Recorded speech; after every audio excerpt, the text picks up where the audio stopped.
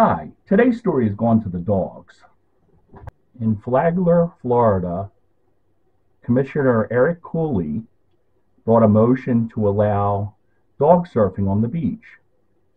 He is actually one of the members of the Hang 8 dog surfing contest.